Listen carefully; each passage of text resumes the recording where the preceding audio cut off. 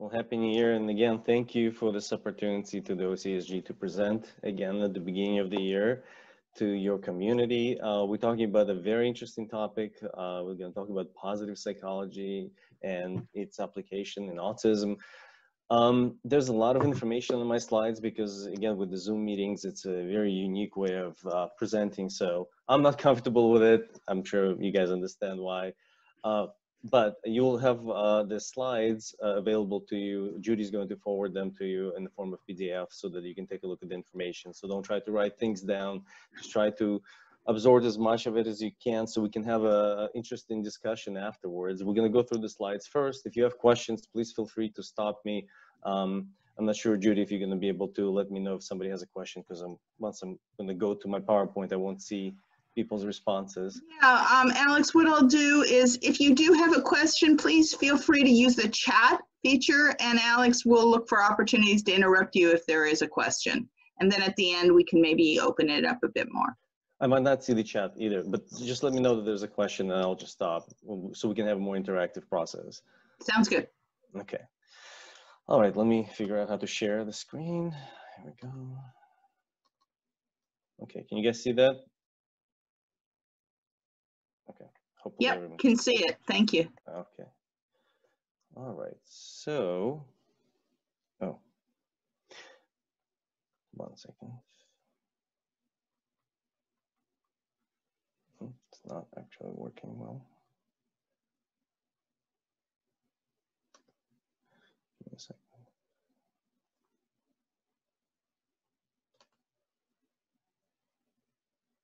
Oh, um, okay.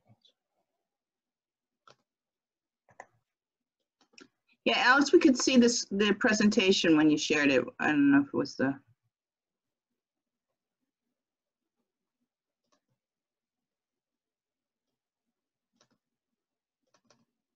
Okay, can you see that?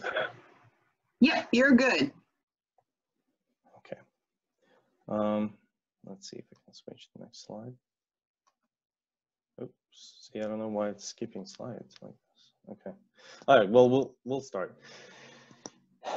Okay, well, um, let's talk about po what positive psychology is all about. And uh, again, the application of it to autism is a fairly new concept. It's a fairly new field. Dr. Martin Seligman was the one who introduced the concept of positive psychology to the world of um, clinical psychology and my, my colleagues. Uh, so the application is fairly new and it'll be interesting to, uh, to talk about what are some of the challenges that you guys as parents or individuals on the spectrum feel uh, that this may uh, uh, illustrate.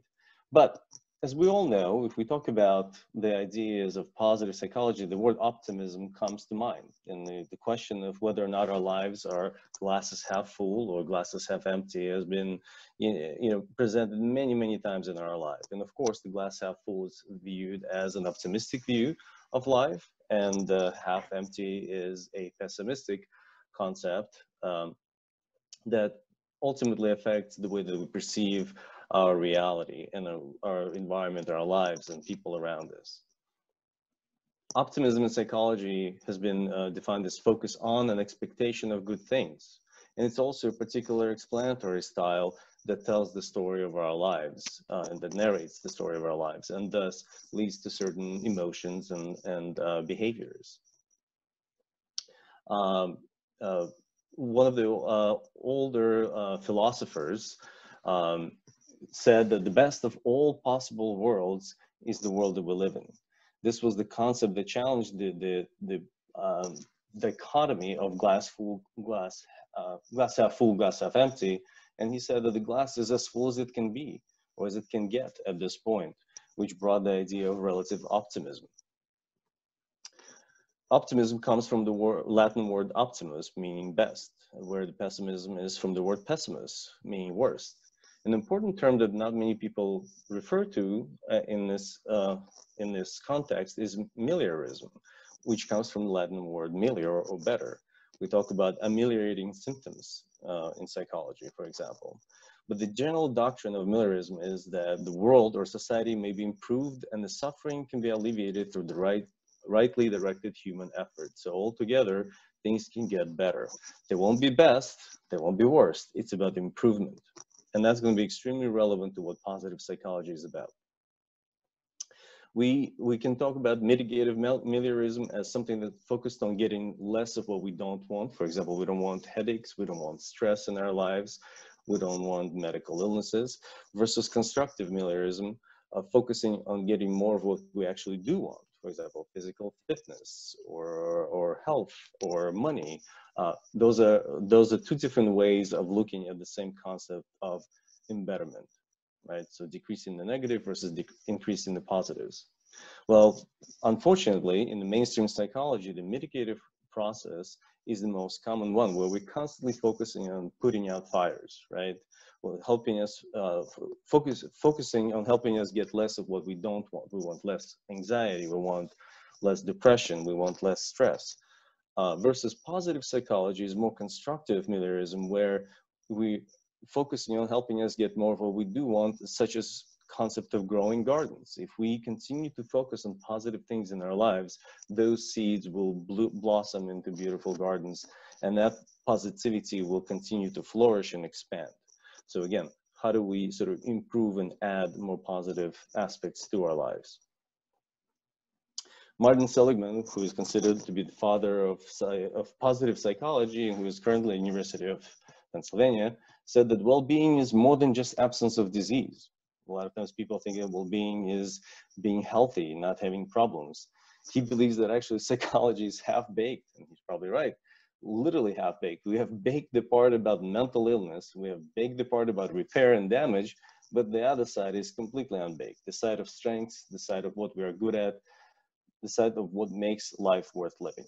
And the concept of life worth living has also been introduced in other um, uh, psychological approaches such as dialectical be behavioral therapy as a very important way of helping people see what would be the life that they want, kind of focusing on the positives rather than constantly looking at the negative aspects of their life. So what is well-being? Well, according to Dr. Seligman, um, the acronym PERMA applies, which it consists of five aspects, positive emotion, engagement, relationships, meaning and accomplishment. So let's go through them so that you understand what they're about and how they may apply to us. Well, well-being involves positive emotions, such as joy, gratitude, serenity, content, hope, uh, gratitude, love. Um, there's ways to measure positive emotions. We're not going to go, in, go into the ways to measure them, but they're available for you on the slide. And what's most important is that positive emotions can be grown. And uh, two interesting exercises are, and that are, that are frequently actually used and, in, and been um, assimilated into other therapeutic approaches. One is three good things exercise. You basically sit down at the end of the day and you mention what's the first good thing that happened to me and what was the cause of that. And you then list two more. As you're doing that, you will notice that you are increasing your positive emotional states. And if you do this on consistent basis, not only are you going to be able to refocus your mind on more positive aspects of your life, but also increase the actual experience of positive emotions in that, at that point. Another interesting exercise that, that people can engage in is gratitude letters. Literally sitting down and writing gratitude letters, whether it's to your mom or your dad, your neighbor, your friend, your coworker, whoever, someone you can be thankful for for something that they have done, no matter how small it was. Again, that allows you to step away from the negative emotions of the stressors in our lives and focus on the positive things to improve and increase the positive emotions that will add to our well-being.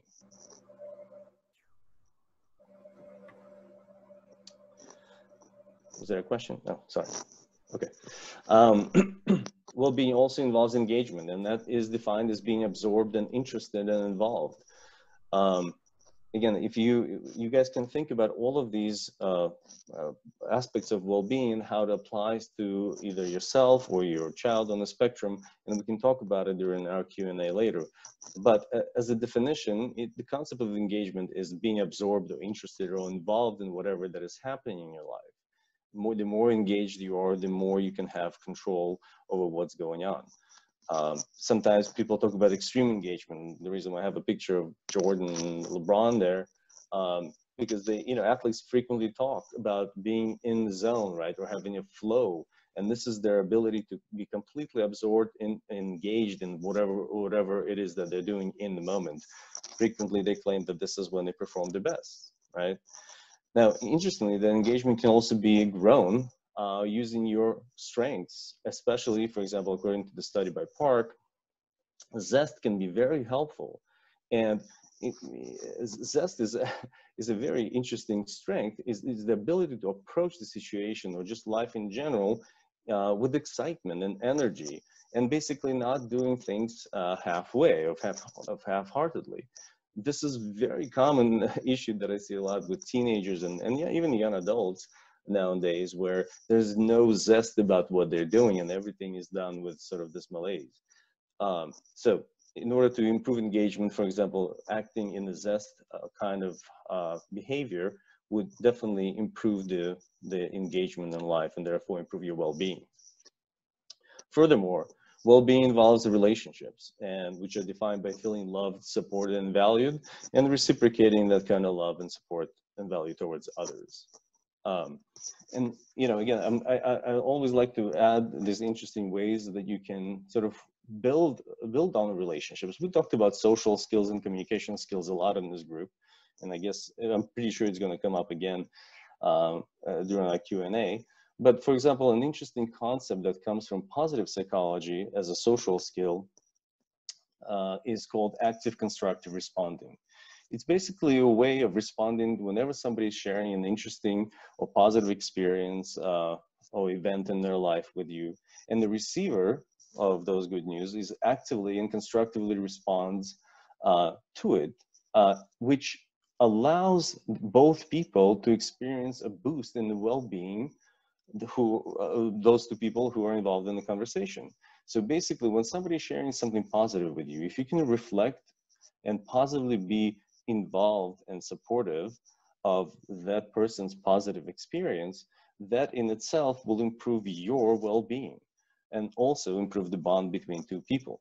So this kind of uh, this kind of uh, social skill can definitely strengthen the relationships that you have in your life, and people would love at that point to be around you more and to share more with you as you're engaging in this kind of uh, social interaction approach.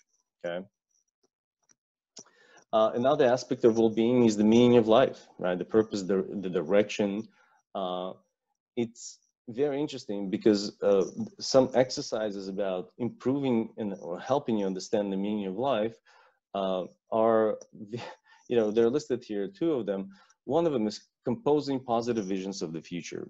I frequently ask my clients in the session when I see that there's a little bit of difficulty with motivation or understanding of direction in life is what is it that you would love to see happen in your life? What would be the positive outcome of your life? We talked earlier uh, from the Seligman's quote, what would be the life worth living?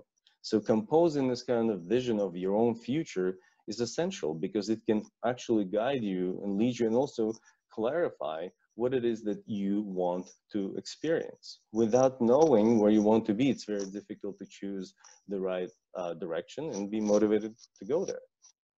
Another interesting exercise is to uh, write obituaries through the eyes of uh, your grandchildren.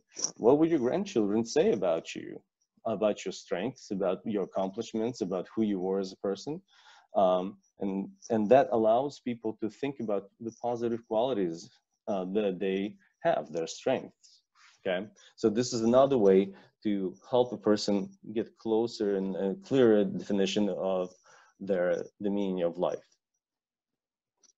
Again, and, and these concepts, by the way, can be somewhat abstract and therefore when you are dealing with individuals on the spectrum you may have to help them by guiding them through the process of these exercises by demonstrating how it would be. For example in the session i will explain how what a vision of uh, the future that i had for myself at their age and so forth so that they understand all of the aspects of, of what it would mean to paint this kind of picture of a positive future for yourself Another aspect of uh, well-being is accomplishment, which is defined by achievement, mastery, or competence. And it's in positive psychology, it's, a, it's very important that the focus is on understanding that self-discipline is greater than intelligence or talent. So ability to to have a better discipline and and uh, being able to, for example, be studious, stay on task, and so forth, is more important than your natural ability to achieve. Uh, you know, uh, throughout UCLA and Stanford, I saw my peers who were, some of them were just absolutely brilliant and their IQ and talent allowed them to get through school and do well. And then I also saw others who might not have been as um, gifted intellectually, but yet their self-discipline was so great that, that they frequently actually performed even better in classes and achieved as much as those with more sort of natural sort of IQ uh, uh, capacity. And th therefore, you see that little uh, image over there where it says 10,000 hours to master your craft. eight, eight hours a day, five days a week, 44 weeks a year. So five and a half years to go. So you better get started. It's true. They say that if you want to become good at anything uh, or masterful at anything, you have to spend about 10,000 hours uh, doing or uh, practicing that particular uh, craft. And that's where self-discipline comes in. So it's not as important what talent you have, it's about how much effort you can put in and, and discipline to uh, make sure that you stay on task and practice. Alex? Yes. I wanted to interrupt you because it kind of might even fit with that discussion a little bit.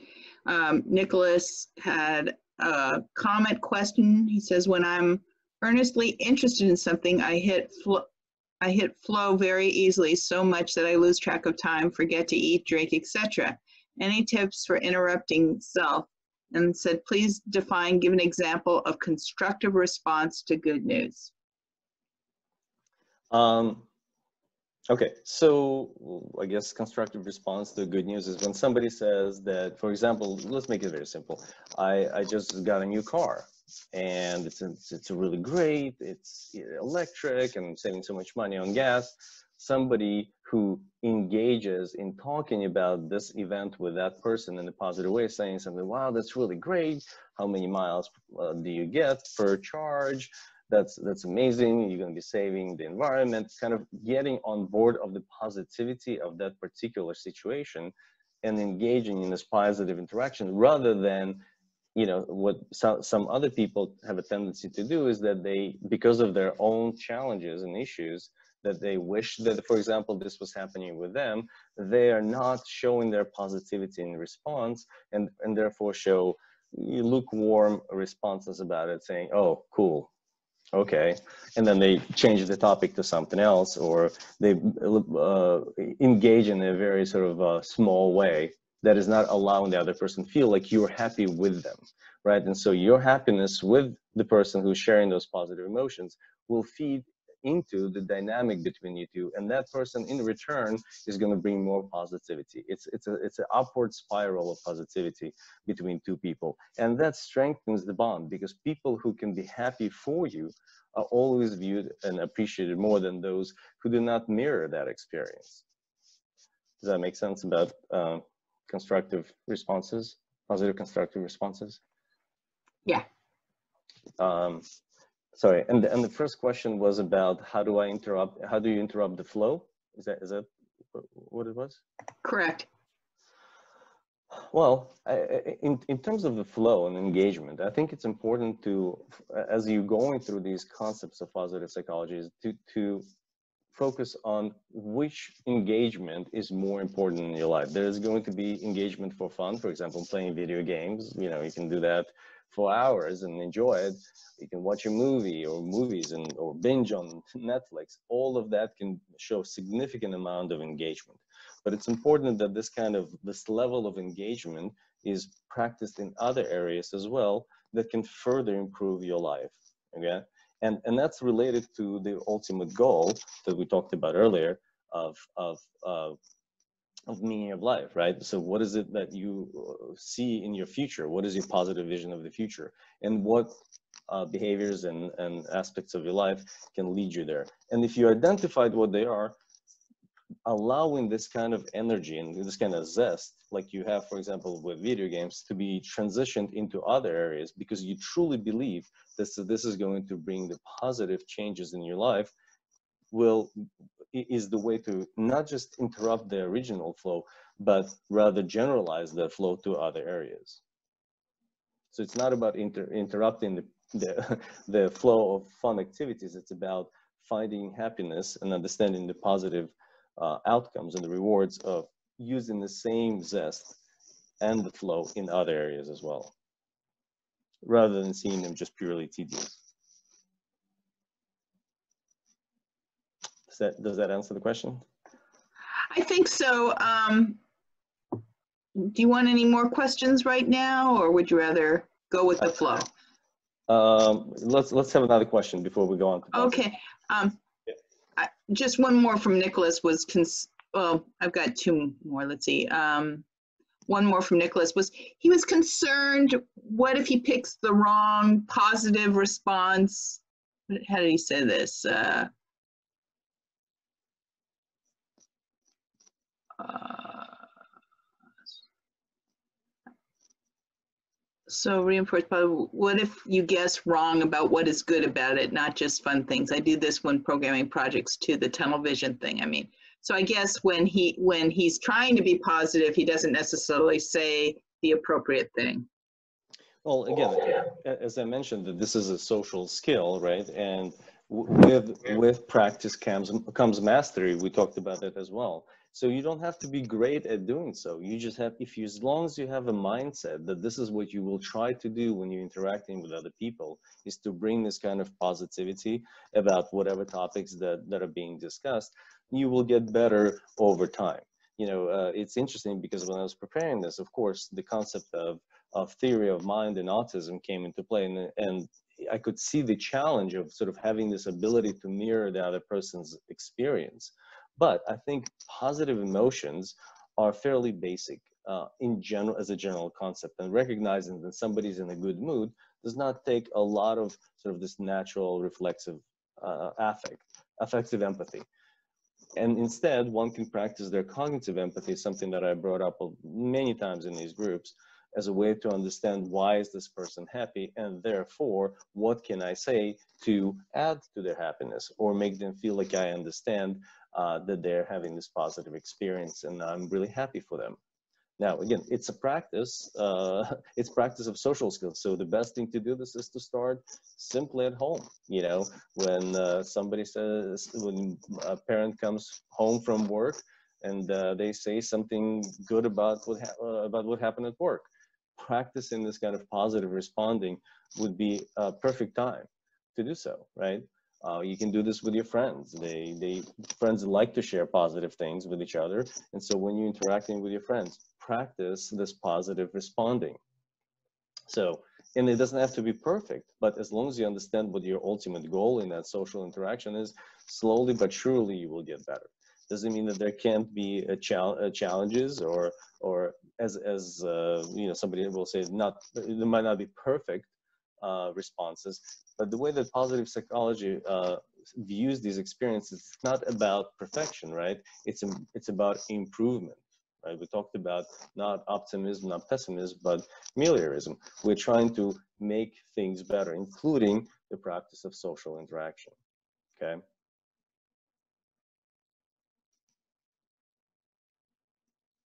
All right.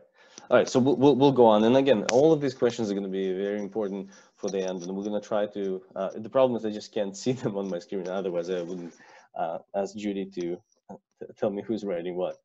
Okay, so uh, let's talk about positive psychology practices. Um, positive emotion. Uh, well, gen generating positive emotions helps broaden and build our resources and moves us toward greater well-being. We talked about why, how that can happen. Um, Another important aspect is mindset adapting. So changing your attitudes can really help us change the way that we see the world and view the world.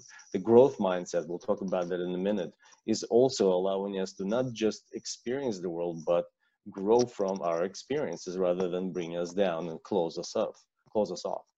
Uh, mindfulness, you probably heard about mindfulness training it's a really, really uh, uh, big and growing field of helping people be more present in the moment, right? It's the opposite of mindlessness. uh, it allows us to stay present for whatever is going on with us rather than, than everything that's going on in our lives becoming a white noise where we're not noticing good and only bad things begin to surface. Resilience, uh, practicing resilience is the capacity to withstand and adapt to the challenges of life that life throws at us. The more resilient we are, the easier it is, the easier it will be for us to deal with life's uh, difficult moments and will allow us to continue on our path to improving our lives. Optimism, we talked about that already, is the tendency to expect the best possible outcomes. Gratitude, I think it's a very important concept, especially for, for the families with individuals on the spectrum. Uh, practicing gratitude makes us aware of the good things that happen and connect us to a sense of life.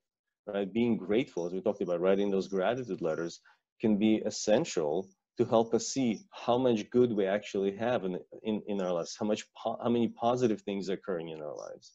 As a clinical psychologist, frequently we focus on, on, like I said, all of the sort of negative symptoms of a certain condition, how we ameliorate those symptoms by decreasing the symptoms. But I, what I always, uh, what I frequently see is that there's so many individuals on the spectrum who don't necessarily pay as much attention to all the good things that that are going on for them and so gratitude is an important concept of positive psychology that can be applied in interacting with those on the spectrum and for, for those on the spectrum themselves.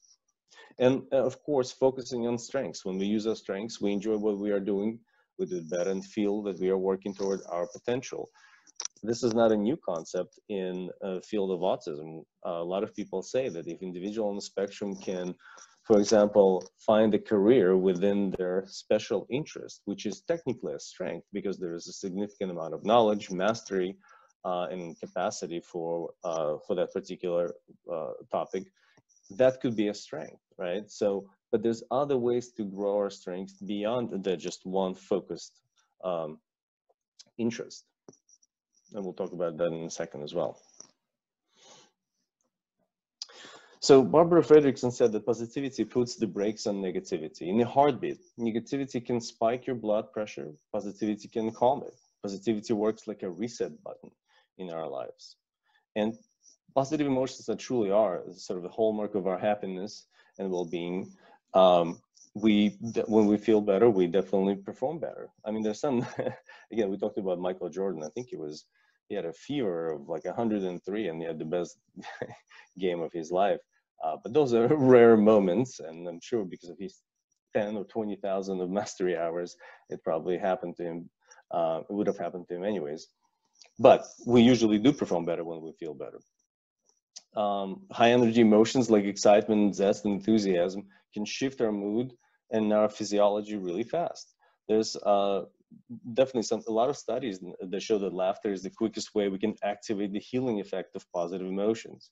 The studies also show that even uh, smiling, smile itself triggers uh, specific uh, neurotransmitters in our brain that are released that make us feel good. So just a few minutes of laughter day can definitely reduce your stress, improve your heart rate, muscle activity, digestion, and immune system.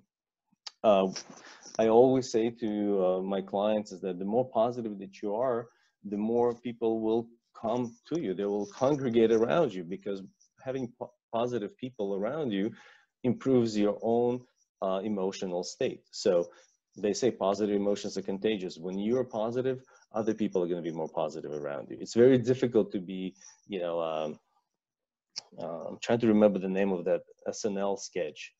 Uh, oh, Debbie Downer. I don't know if you guys remember that, but it's kind of a funny sketch where they were having, friends are having fun and she's always saying something that really brings the, the mood down it's it's really uh, uh, not cohesive experience for people, and so it's very hard to be the opposite of someone who is very positive on, on a regular basis. Therefore, if you're positive yourself, you're probably gonna uh, see more people who are positive around you. And as, as a concept of the actual practice, you gotta try to maximize the fun moments to feel happier and healthier and try to decrease the duration and intensity of, of your negative um, of your lows. Okay. And you have to try this in as many aspects of your life as possible. Gandhi said um, that I change myself, I change my world. And it's true, our mindset influences how we perceive our reality. I've given a, lot of lectures uh, with OC, ASG, and, and other organizations about the concept of cognitive distortions from uh, cognitive behavioral therapy. And it's, it's interesting how the positive psychology is really sort of overlapping with that because technically it is all about our perception of the events that are occurring uh, around us. So positive uh, attitude can influence the way we respond, our impact on others and happiness level. The more we recognize the power to make conscious positive choices, the more difference we can make to our own and other people's well-being. So if you see that something is going on in your life and you interpret it in a negative way, most likely not only you are going to be affected, but the well-being of other people who are related to you will also be uh, offset by that. There's two different mindsets that are important to mention. One is a fixed mindset, which is basically the belief that the basic qualities like intelligence and talent are static traits and people usually accept them for what they are and they don't try to work on them and don't spend time developing them versus a different mindset uh, which is called the growth mindset where people see themselves as a constant work in progress where they believe again that through uh, through mastery they can nurture their abilities and their talents and they actually can reach pretty high level of success Um, and you know, an interesting study by Dr. Uh, Sonja Lyubomirsky from University of California, Riverside, which is here, not, not far away, uh, she showed a very interesting outcome that showed that 50% of the difference between people's happiness levels can be explained by genetically determined set points. So, for example, you know, your intelligence, your uh, emotion regulation, physical emotional regulation, certain uh, development of parts of the brain, and so forth. So there's the physiology and genes that are responsible for the 50% difference in terms of people's happiness levels. 10% is linked to your circumstances, whether you're rich or poor, married or divorced, healthy or unhealthy. Environmental factors account for a portion of your happiness. And it's very interesting that it's only 10% that, that, is, that, that actually has an effect on whether or not the person feels happy this is uh, why a lot of times people say that money doesn't make you happy. Well, you know, money can alleviate some stressors, but it's not going to make you happy. You can have a lot of money, but not necessarily experience happiness. And I've had clients like that who were very wealthy people, and unfortunately, they were in severe depressive states. And uh, you know, on the surface, it's very difficult to understand. But it is because money or these external factors or circumstances are not really what makes somebody happy. It is the way that you see your world, the way that you see yourself.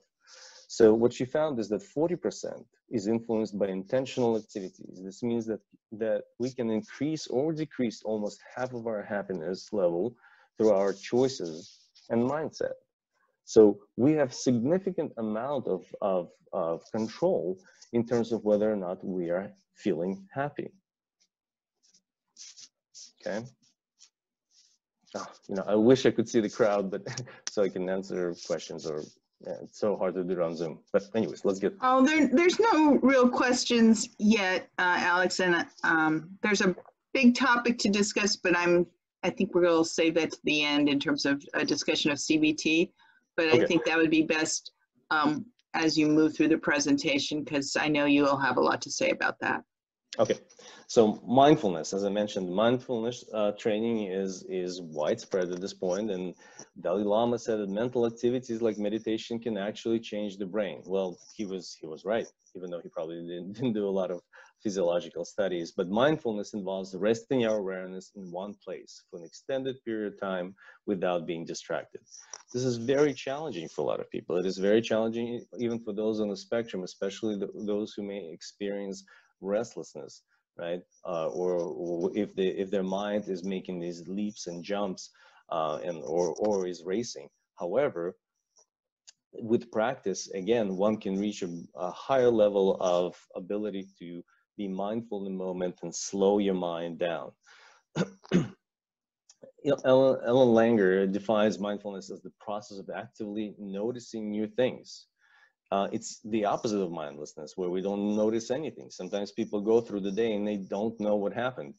uh, I guess the best analogy would be I don't know if you guys ever had this experience when you're driving home from work, you get home and you don't even know how you got home because you were thinking about something else. It's not like you were not aware that you were driving, but your mind was just absorbed by other things and dismissing what was going on uh, around you in that moment.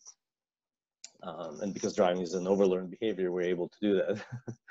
um, When we approach the world with a mindful awareness, we can more accurately assess and respond to the situations and people.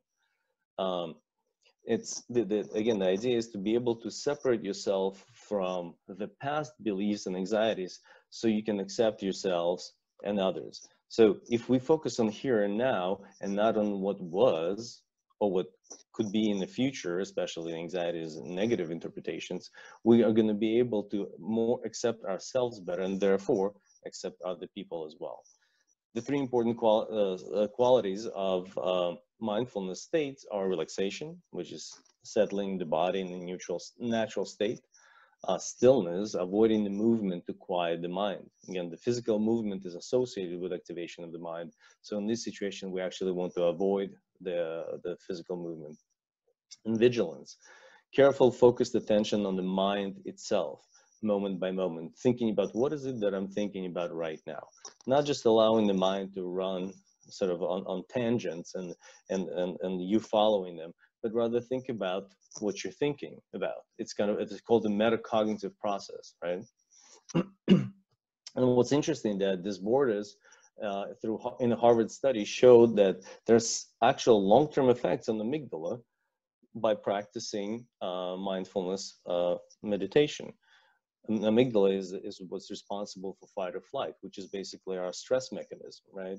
Well, he showed that even two weeks after mindfulness practices, if they're practiced on a regular basis, and then one takes a pause, up to two weeks, amygdala activation is decreased. Therefore, we are not experiencing the same levels of stress um, um, as we would if we didn't practice mindfulness, which is a significantly important for our population because we anxiety is probably the number one comorbid condition in in autism, and amygdala and fight or flight response is responsible uh, for uh, experiences with anxiety. Okay. Resilience, also a very important topic. Resilience is a capacity to withstand and adapt the challenges life throws at us. Resilient people fulfill their potential despite the adversity and tend to see challenges as opportunities for growth and renewal. What I, what I see a lot of times happening for, for my clients is that once they are once they are facing some of the challenges and adversities uh, in the world, in their world, what I see instead of taking on those challenges and trying to grow from them, try to improve and, and become better at it, there is a tendency to withdraw, right? Escape and avoid. And this is why we see sometimes a lot of uh, self-isolation because self-isolation is safe uh, from stressors. But the resilience can only be developed if you actually take on those challenges and adversities as you're improving your own masteries with whatever it is that's happening. And there's a number of different ways that people use resilience. They overcome the difficult circumstances or negative consequences of life to steer through daily stressors, to bounce back from setbacks, to reach out to pursue new goals and the strongest sense of self. Um, and of course, interestingly enough, we, we do know from brain studies that emotions, brain, and body are all interlinked. And when you engage in certain activities, it will have an effect, physical activities, it will have an effect on your emotional states. For example, exercising or uh, relaxation, deep breathing techniques will help you get oxygen to your body and the brain, and therefore it will change your emotional state, frequently lowering the anxiety, slowing down the fight or flight uh, response, giving you more energy and ability to get engaged in life. So for example, uh, when you're not, when something negative is happening with you, you can show resilience by, for example, going for a walk to change that negative experience into a more positive emotional state. Tidy up your desk, uh, just as a practice of doing something positive in the moment of, of negative, exp uh, negative experiences or time in your life. Giving somebody a hug, in when you're feeling down and sad, upset, instead of showing that emotion and practicing that emotion by brooding, for example, or isolating, going in the opposite direction of something positive, giving somebody a hug can change your emotional states significantly. and also you will get reciprocation, social reciprocation in that moment as well that will reinforce that action. Smiling at somebody, very likely that other people will smile at you as well, right? So, and that kind of social reinforcement can change that negative experience and therefore you will show resilience in face of whatever that's happening to you at that moment. Optimism, uh, again from Martin Seligman, is a tendency to expect the best possible outcome or dwell on the most hopeful aspects of a situation. If we're optimistic, we tend to see more solutions, we tend to be more successful as we believe they will work. We stay motivated, that keeps us going, right? But we're not talking about uh, what people say blind optimism. Positive psychology is a lot more realistic and a lot more uh, entrenched in, in uh, what's in reality and here and now. And so if there's rocks on the road, we will see those rocks but we will see that there's a path through them rather than get focus on the fact that there's rocks that are blocking some of the ease of our path, right? Um, for example, when a problem occurs, an optimistic thinker believes they are not completely at fault. They're not dismissing their involvement because that would be again was uh, that blind optimism right? Oh it's not nothing is my fault. I'm going to externalize the problem and blame everything and every, everyone around me. But rather it is not completely my fault because there's certain circumstances that might have played a part in this particular situation. And in addition to that the situation itself is fleeing and changeable and you can have an effect on the outcome right? And what has been shown to be helpful for people to remember to be optimistic or de to develop a habit of being optimistic is, for example, wearing a bracelet that would be a representation of positivity and optimistic outlook for yourself. Having a sticky note in the bathroom every morning or at work or in your car. Um, most people are walking around with their phones. I had a I had a young adult who put that as a background on his phone. So whenever he would look at his phone, the first thing he would see is, for example, this this little uh, image down there that he shared with me, you know, and, and I understand that the, you know, there's some biblical relevance, but and relevance to NA and AA practices, but this too shall pass. This idea that this shall this too shall pass, that even if this is something problematic, that this is not going to be the constant, right? So challenging your negative thoughts and substitute alternative causes uh, that are changeable, specific, and impersonal can really help to bring that optimistic view of the world, more realistic optimistic view of the world, and thus change the way that you feel. And that goes back again to the cognitive behavioral therapy of, of changing your uh, negative interpretations. This is, a, again, a big one. I, I really think that gratitude goes a long way. Uh, Marcel Proust said that let us be grateful to the people who make us happy. They're the charming gardeners who make our souls blossom and it's true you know uh, I, I see that there's not enough of that happening in the families for example of those on the spectrum. I don't see a lot of times parents who come to me and say oh my, my, my son or daughter are constantly coming to me and showing appreciation for what i do for them. If anything there's this negative dynamic of the lack of gratitude. Um, and gratitude is the quality of being thankful the readiness to show appreciation and return the kindness back. It makes us aware of the good things that happen to us. Um, people say that if you practice a lot of uh, researchers actually say that when you practice gratitude, it associated with psychological growth and ability and a coping style that is more positive in nature. Because as you looking for gratitude, how to show gratitude, you're ultimately restructuring the way that you think about the negative aspects of your of your life in more positive ways. Um, okay, we mentioned that already. Um, gratitude is, the, is one of the most powerful antidotes to negative emotions uh, and depression. Studies show that when people write regularly about the things that they're grateful for, their mood, coping behavior, and even physical health improves. So as one of the, uh, similar to focusing on the po three positive things that happen in, in your uh, daily life, there's a suggestion that helps with improving uh, your, your practice of gratitude showing is through keeping a journal or a checklist. uh, of weekly things that you are thankful for and you can and you can show gratitude for to other people or you have shown gratitude for to other people but most important is that you don't do this because you have to you know it has to be something that you really are uh, uh, want to do yourself right? You train to notice your brain uh, you, you train your brain to notice positive experience that happen to increasing your own natural positivity. So you have to know that this is done for yourself and not for someone else. And as you practice this, as it becomes more of a routine, you begin to see the positivity uh, overtaking uh, your negative uh, views of life. Focus, focusing on strengths. Uh, Alex Linley says the strengths energize people, enabling them to be at their best. When we use our strengths, we enjoy what we are doing. We do it better and we feel we are working toward our potential. Um, and he uh, defines it as pre-existing capacity for particular way of behaving, thinking or feeling that is authentic and energizing to the user and enables optimal functioning, development, and performance.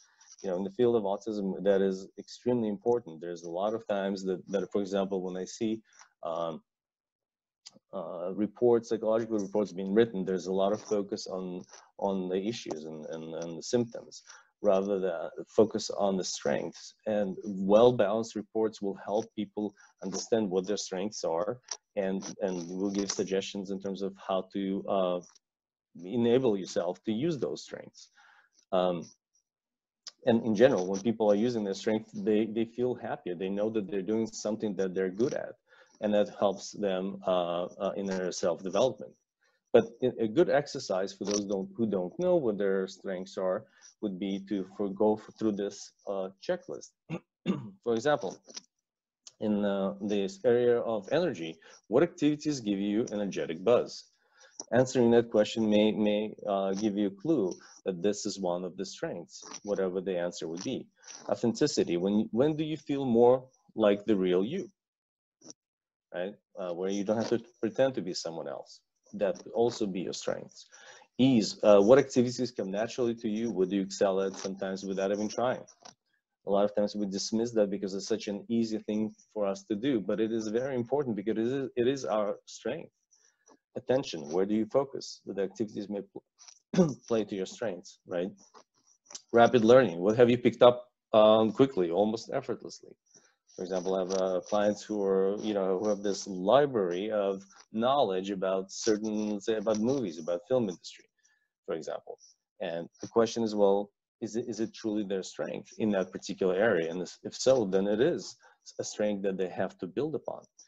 Motivation, what activities do you simply, uh, uh, that you do simply for the love of doing them? right? Something that you don't have to be coerced in doing, uh, forced to do, or bribed to do. What is it that you just do because you love doing them? Your voice, a shift in passion, energy, and engagement probably means you're talking about a strength. So when you talk, when when I see my my clients talk about something they're really into, their mood changes, their presentation changes, their voice changes.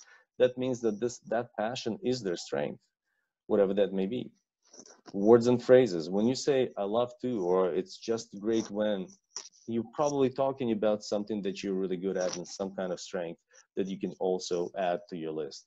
And most importantly, the last one, I think it's great, uh, to-do lists. Things that never make it to your to-do list are often those, uh, those you never need to be asked twice to do, which means those are your strengths as well. Something that you do without a necessity to be reminded of okay?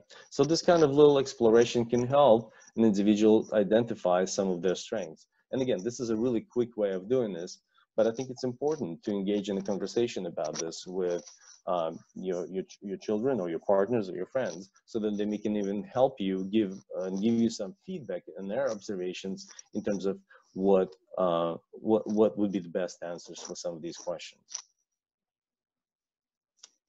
Okay, now, before we switch to the positive psychology application with ASD, as, as I was trying to already talk about this in previous slides, I wanted to see if there's any questions about uh, what, what I was talking about earlier. So if you have any questions, you can use the chat. I haven't seen anything, Alex. All right, well, then we can proceed. Yes. Okay, um, so I think the five most relevant characteristics of positive psychology for ASD would be optimism, humor, self-efficacy, uh, kindness, and resilience. Um, we talked about optimism already, but promoting optimism in people with autistic spectrum disorder could increase successful problem-solving skills, decrease a sense of helplessness, and promote a sense of autonomy that could be beneficial. Again, having this the optimistic view of what will happen can also decrease the anxiety, right? Because if you always feel like uh, you will have trouble with, and then you fill in the blank, the, the optim staying optimistic is very difficult. However, realistic optimism saying, I may have some challenges with this, but I've learned, for example, a, a, new way of interacting, or a new way of doing something, and I will try to achieve mastery with that slowly but surely, is the more optimistic way of facing that situation. So using optimism in, uh, in, in working with individuals on the spectrum or in, as, as a parent or a partner of somebody on the spectrum is extremely important to help them see the other side of that coin. Um, humor. Humor facilitates social connections and interactions that can be both enjoyable and stressful. People will turn to humor to relieve both anticipated and actual stress. Individuals with autism are frequently challenged by anxiety and stress responses when confronted with social demands. So being able to fuse humor into uh, the social practice can alleviate some of that, that social stress in, uh, in, in those situations and therefore make social situations less anxiety provoking and more uh, of something that the individual enjoys. Now, I know that there have been attempts at teaching humor, but that's not what we're talking about. We're talking about looking at things from the more humorous, positive, and the more humorous, positive light, rather than focusing on the negativity of the experience. And um, I, you know, a lot of times in my sessions with my clients, I, I infuse our discussions with humor because otherwise it becomes fairly sort of challenging and, and, and, and stressful experience to constantly talk about things that need to improve, focusing again on, on the specific uh, amelioration of negative symptoms. It is about seeing the, the, the, the humor in certain situations in life. It's about finding this, this ability to use humor as you're interacting with others that will tame the negative experiences uh, that we sometimes are faced with in our life. So humor is essential. And again, it, uh, I think it's a it's actually incorrect that individuals on the spectrum are not using humor uh, don't don't have the sense of humor. They actually do have the sense of humor.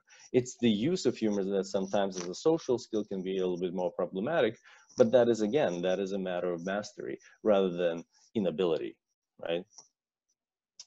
Um, self-efficacy um, is the belief that people have uh, have about their ability and readiness to perform a task um, it, it's really difficult to stay positive if you don't feel like you can be self-efficacious, efficacious, and you cannot, and that you cannot believe in yourself, right?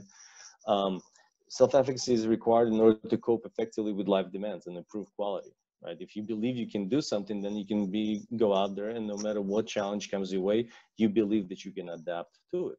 Um, and it's de uh, developed by cumulative positive experiences and learning and if somebody is staying away from, for example, and isolating from life and not engaging, remember we talked about engagement, not engaging with zest in life's challenges, one is not developing self-efficacy. So we, we definitely know that, that individuals on the spectrum struggle with learning new skills and they're exposed to the frequent failures sometimes, but teaching skills and nurturing controllable positive behaviors and habits that lead to productivity and increasing the learner's awareness of other cap capabilities can benefit their self-efficacy.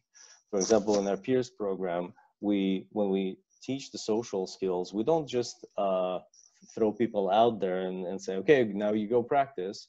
No, we actually try to make sure that they're practicing in the most positive environment that will produce positive responses from uh, people that they will be socializing with or interacting with because we want to solidify the concept of their social self-efficacy right? We are, we're trying to make sure that we're controlling as many variables as we can in the beginning as they're just developing these skills, these social skills, communication skills, and uh, solidifying their self, social self-efficacy.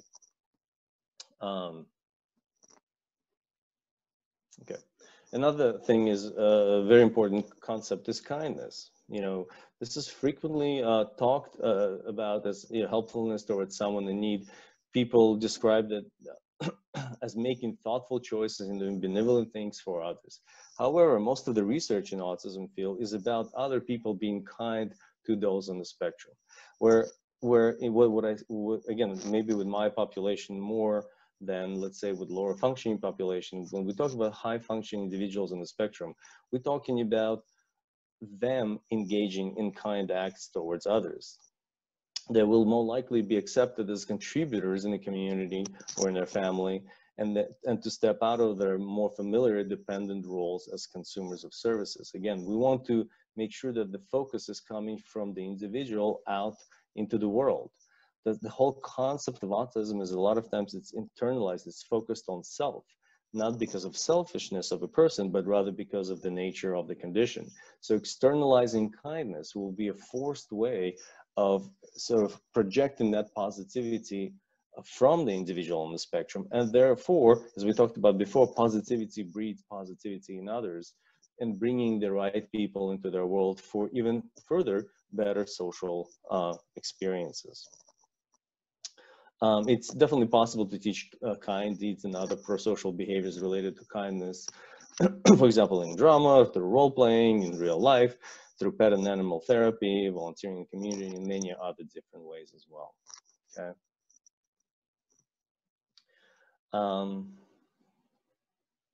so we talked about resilience earlier. We talked about what that means, but people with autism spectrum disorders have unique challenges that make them vulnerable in the face of adversity. Their ability to cope and adjust is dependent upon their cognitive capabilities, communication skills, flexibility, and social problem solving capacities, right? So um, having deficits in such areas can, can definitely affect someone's experience with resilience. But uh, if there's there's certain things that one can focus on, for example, resilience can be taught to individuals with autism at all levels of functioning by nurturing self-regulation, right? Learning how to manage your emotional states, knowing what makes you feel good, knowing what makes you feel positive, um, increasing opportunities to experience success. We just we just talked about this in terms of our peers program, where we try to put our teens and young adults in a situation where they're more likely to succeed rather than to face significant adversity. Autonomy and independence. I, I don't know how somebody can feel like they're resilient in life where they're dependent on someone else. Resilience means that you are actually able to deal with whatever life throws you away. But if you know that you have to be dependent on someone else for the basic sort of uh, needs in, in your life, it's very difficult to feel that resili resilience and therefore autonomy and independence are extremely important in practice. For example, I always say, if I see somebody who is of age and they're not driving, I, there better be a real neurological reason why they're not driving. There should be no other reason for that, including the anxiety about driving or the anxiety of the parents about their child driving, so forth. Uh, increasing problem solving skills and general knowledge. Uh, problem solving skills are related to executive functioning, and Judy said there's going to be a few um, a few talks on that, and so I, I, think it will be important for those who feel like uh, uh, this is an important area for you for you to learn about to join those meetings.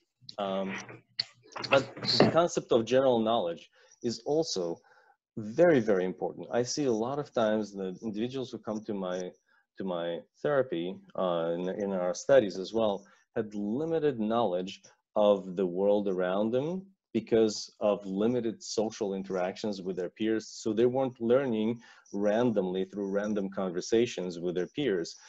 They were left to themselves, to their uh, to interactions with their parents, or to search to their searches online. But you know, it's interesting with Google. Google has probably answers to everything, but you have to search for something in order to get an answer. It's not just going to throw things at you, so you would learn uh, about that. And so this just general knowledge about the world can stand in the way of your resilience because you might not see all the different positive ways that things can work out if you're missing actual components that make up that situation or, or can make up that situation. Um, so, and the way that resilience can be measured for those who are trying to uh, measure this in some kind of behavioral plans or so forth, um, it can be measured in people with autism is, is their ability to express and execute positive preferences and choices. For example, willingness to learn and experience novelties. Simple things like, for example, going out and trying the foods that they haven't tried before because they're basing on the concept that once they tried something new and let's say they had a really bad uh, uh, sensory reaction to it. So trying something new is no longer an option for them, but actually looking this in a positive light, seeing that, hey, this was just this particular item that tasted this way, and I'm going to give it a try because what if this is, this tastes actually amazing? Having this positive attitude is actually a way of showing that somebody's becoming more resilient to the life around them and having more positive uh, uh, outlook. also maintaining a strong support system and by demonstrating self-regulation and self-control under times of stress. So seeing how many times one becomes dysregulated and negative rather than focusing on improvement and positive outcomes for the future of whatever the negative situation that occurred. And again, it's a mindset and it's, and it, it, it, it's not that easy to achieve. It is something to be practiced, of course. Um, I can I, I, can tell you that in sessions it takes a while for people to begin to look at things in a positive way. That's why homework assignments can be very helpful because they can be done on a regular basis, not just once a week, for example, in in therapy. Um, I also think that just generally positive psychology should be inserted in in in schools, middle school, high school, into IEPs, into IPPs in the regional center, uh, behavioral plans or and, and therapy and even you know uh, just day-to-day interactions with with parents. Sometimes it's hard for the parents to stay positive and resilient. So a lot of these concepts and ideas hopefully will be helpful not just for your an individual on the spectrum but for the parents and siblings and partners around them. Okay All right, guys. So I went through all of this information just so that we can actually have a discussion and try to answer your more specific questions. I think this is a more interesting part of the presentation when we actually get to talk about these things rather than me just, you know, going off my slides and uh, downloading all this information. By the way, as I said earlier, uh, Judy will provide you guys with a PDF of these slides. So you'll have all of this information to refer back to, okay?